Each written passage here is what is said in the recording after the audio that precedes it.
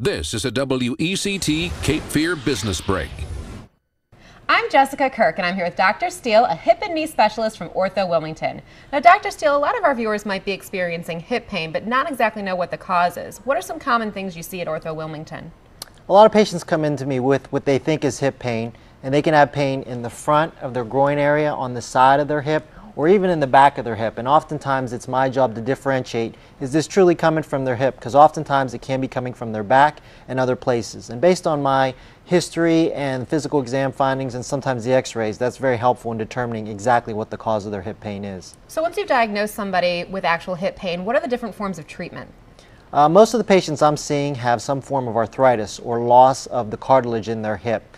And most of the time we can handle that initially with non-operative measures, different medications, different activity modifications. But once those start to fail, we have some uh, surgical options for them. And, and the most important one that, that I offer patients is a total hip replacement. Now how has the total hip replacement changed and how have these treatments changed recently?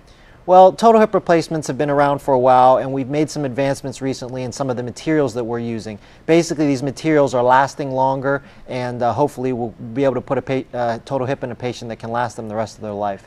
Now, what's the recovery time? I mean, a total hip replacement sounds pretty intense. Well, we'd like to get the patients up the, the day of surgery, if not the next day, and the recovery should be very short in terms of getting them up and walking. Getting them back to their normal uh, activities can take anywhere from 4 to 12 weeks, depending on how bad they were before they started. And how does that differ from previous treatments? Well, we've definitely made some advancements with physical therapy and anesthesia that have really sped up that process. We're able to get patients up quicker, we're able to get them feeling better from a pain perspective, and we're able to get get better medications on board. Excellent. To find out more, visit orthowilmington.com.